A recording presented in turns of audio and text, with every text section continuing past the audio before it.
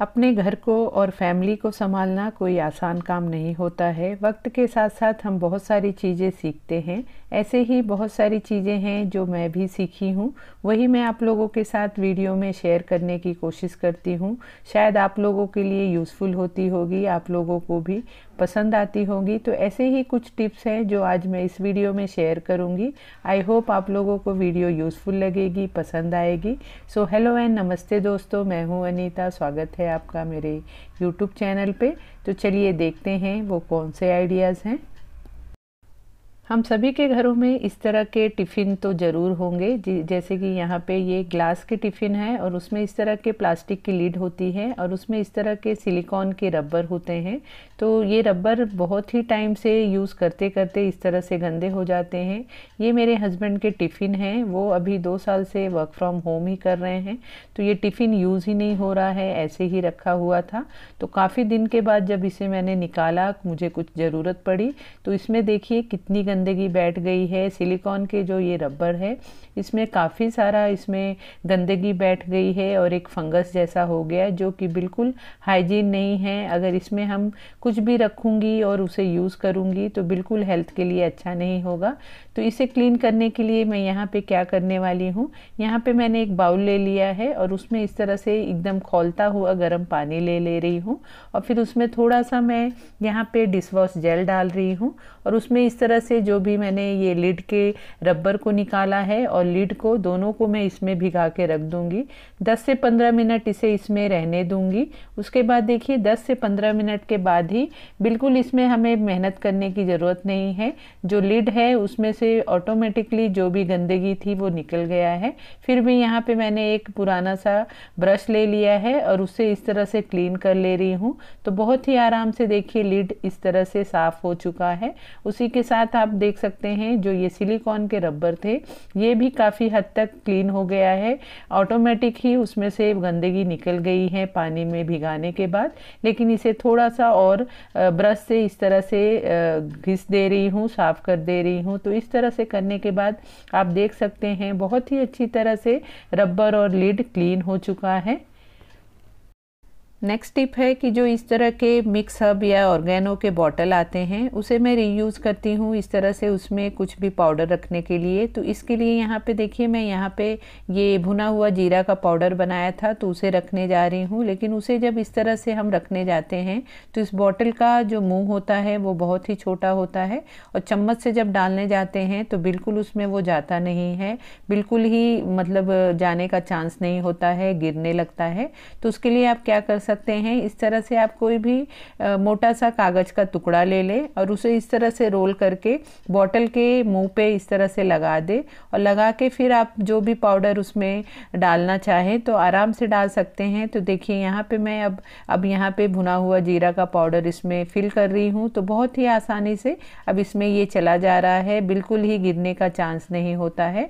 तो इस तरह से हम थोड़ा अगर आइडिया लगाएँ तो बहुत ही आसानी से हमारे काम को कर सकते हैं। तो देखिए, बहुत अच्छी तरह से इसमें मैंने फिल कर दिया है और मेरा भुना हुआ जीरा का पाउडर रेडी हो गया है। और नेक्स्ट टिप है कि इस तरह से जब भी मेरा टूथपेस्ट ख़त्म होता है तो मैं इस पैकेट को फेंकती नहीं हूँ। इसमें जो थोड़ा बहुत टूथपेस्ट रह जाता है, उसे भी मैं यूज़ करती हूँ। तो इस तरह से मैं उसके मुँह की तरफ़ इस तरह से कट कर लेती हूँ और उसमें आप देखेंगे कि इधर ढक्कन की तरफ़ बहुत सारा टूथपेस्ट उसमें बच जाता है, जमा रहता है तो उसे मैं यूज़ करती हूँ। इस तरह से कोई भी पुराना टूथब्रश ले लेती हूँ और उसमें इस तरह से लगा के जो भी मेरे गंदे हुए स्विच बोर्ड रहते हैं, वहाँ पर मैं उसे क्लीन करने के लिए इस टूथपेस्ट का यूज़ करती हूँ। इस तरह से आपके कोई भी स्विच बोर्ड कितने भी गंदे हुए रहें, अगर आप इस तरह से जो भी टूथपेस्ट होता है उसे आप यूज़ करेंगे तो देखेंगे बहुत ही अच्छे से क्लीन हो जाता है। यहाँ पे आप देख सकते हैं, ये मेरे किचन का स्विच बोर्ड है। ये अब बहुत ज़्यादा गंदा नहीं हुआ है, क्योंकि इसे मैं दो तीन हफ़्ते पे क्लीन करती रहती हूँ। फिर भी यहाँ पे थोड़ी बहुत गंदगी है तो उसे मैं क्लीन करने के लिए इस टूथपेस्ट का यूज़ कर रही हूँ। हूँ तो इस तरह से ब्रश में लगा के इसे मैं एक दो मिनट इस तरह से उसे रगड़ती हूँ।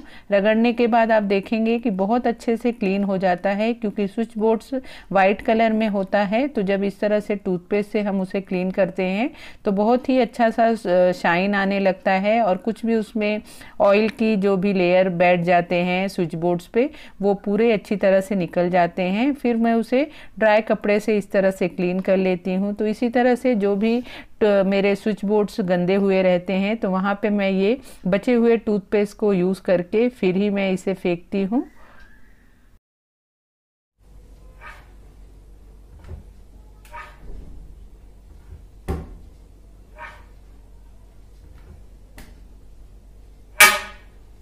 इस तरह की आवाज़ हम सभी के घरों में, दरवाज़ों से या वार्ड्रॉप से या किचन में मॉडुलर किचन के जो डोर होते हैं, उसमें से आती रहती हैं और ये आवाज़ थोड़ी इरिटेटिंग होती है। तो इसके लिए मैं क्या करती हूँ, इस तरह के जो हिंजेस होते हैं, वो ड्राई हो जाते हैं, उसमें जो ऑयलिंग या ग्रीसिंग होती है, वो ख़त्म हो जाते हैं तो इस तरह की आवाज़ आती है। तो उसके लिए हो, होता है कि हम कोकोनट ऑयल डाल देते हैं या फिर मशीन की ऑयल जो स्विंग मशीन की ऑयल होती होती है, उसे यूज़ कर लेते हैं। अगर उस तरह की मशीन की ऑयल हमारे घर में ना हो तो इस तरह से मैं यहाँ पे जो भी मेरे हेयर के कंडीशनर होते हैं, मैं उसका भी यूज़ करती हूँ। इस तरह के कंडीशनर को मैं लेके इसके हिंजेस पे इस तरह से लगा देती हूँ। और आप देखेंगे कि लगाते ही तुरंत ही एक मिनट में ही वो इंस्टेंट वर्क करता है। तो देखिए, बिल्कुल अब आवाज़ आना बंद हो गया है। तो आप भी इस आइडिया को एक बार ज़रूर ट्राई करना। घर को वेल मेंटेन और ऑर्गेनाइज रखने के लिए ऑर्गेनाइज़र भी बहुत बड़ा रोल प्ले करता है। तो यहाँ पे देखिए, मैंने इस तरह के ऑर्गेनाइज़र ख़रीदे थे तो उसमें से एक ऑर्गेनाइज़र ये पड़ा हुआ था तो इसे मैं अब यूज़ करने वाली हूँ। बहुत ही अच्छा ऑर्गेनाइज़र है, मुझे बहुत यूज़फुल लगा। तो इस तरह से ये फोल्ड हो जाता है जब आपको इसका यूज़ ना हो। तो इसे मैंने इस तरह से खोल लिया है और इसे मैं फिर यूज़ करती हूँ। इसमें जो भी मेरे इस तरह से कुछ भी जो एक्स्ट्रा चीज़ें होती हैं, जो कभी कभार यूज़ होती हैं।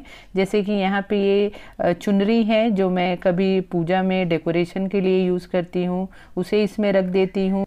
और जो भी एक्स्ट्रा ये टेबल रनर है, उसे भी इसमें ऑर्गेनाइज कर देती हूँ। साथ ही जो छोटे वाले पिलोज होते हैं एक्स्ट्रा जो धुल के रखे रहते हैं, उसे भी इसमें ऑर्गेनाइज करके रख देती हूँ। तो इस तरह से ये सब चीज़ें जो एक्स्ट्रा होती हैं, जो धोने के बाद रखने के लिए लगती हैं, एक हम लगा के रखते हैं तो उसे मैं इसमें इस तरह से ऑर्गेनाइज कर देती हूँ। उसी के साथ फिर यहाँ पे जो भी बेडशीट्स होते हैं, मैं उसे इस तरह से फोल्ड करती हूँ कि एक साथ ही सब फोल्ड करने पे एक ही साइज़ में रहें तो जहाँ भी रखे तो बहुत अच्छे से वो ऑर्गेनाइज रहता है और देखने में भी अच्छा लगता है।